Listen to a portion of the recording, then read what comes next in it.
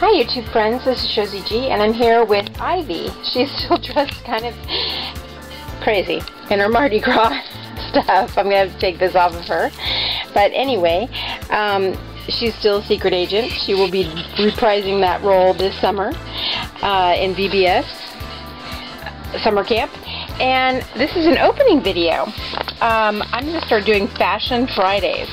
And show you some fashions that I already have on my dolls and fashions that I've gotten in through the week. So this is from Mikhail, one of my favorites on eBay. You probably know her too, but she's branched out from sewing to um, other things like what you're going to see here. She made these fabulous things. Um, this is one of them. Look at this. Isn't this adorable? This is crocheted. And um, this is a dress that she made and put the bow on.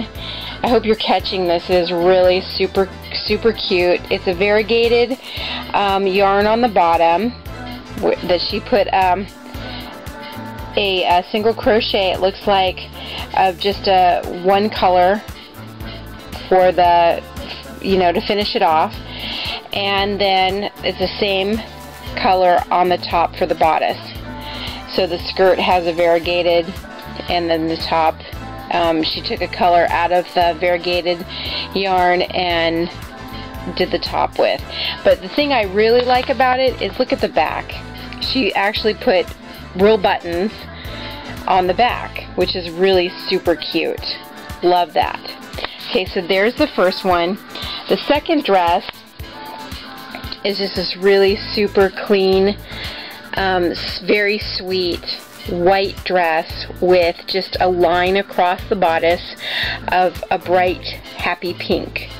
And she scalloped the um, edges of the bottom of the dress, which is really cute. And again, in the back, she's got buttons for closure. Isn't that cute? And um, and then this little um, shawl or uh, you know just uh, kind of like a throw over the top of your shoulders, the doll's shoulders, and this is in a nice, bright, happy peach with a matching um, button, and the button has a really nice, uh, delicate design in it. I hope you can catch that and this is really super pretty. She had quite a few of these. Some of them were for bidding and bidding on, and some of them were for sale. Um, but it looks like a scalloped type of design. It's really pretty. And none of these kind of go together, but I just, I, I liked all of them. These two actually uh, were in a set. She sold them as a set, the two dresses, and then I purchased this separately. Um, but then I went ahead and bought in a separate auction. I want to go ahead and show this because I'm going to dress Ivy in it a little bit later.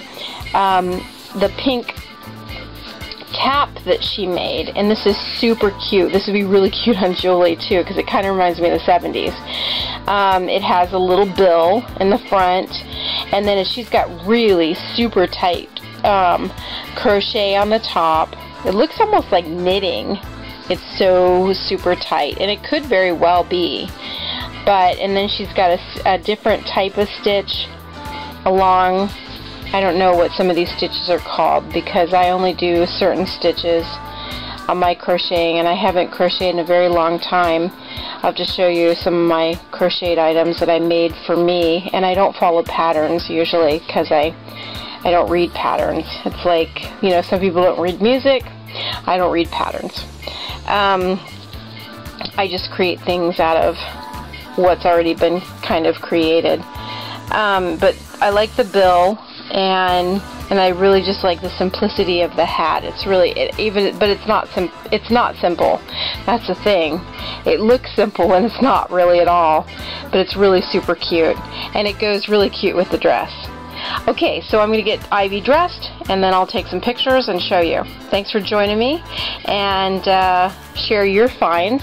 And thanks for Fashion Friday. And if you if you take a look at some of my Animotos and um, some other ones, you'll notice that I've been putting them out on Fridays before, previous to this, and uh, like the Frozen and the uh, Tale of Two Dresses and that sort of thing, um, so that you can kind of get a look at what I've been already doing. But I just decided to name it Fashion Friday. All right, thanks so much. Take care. Bye bye.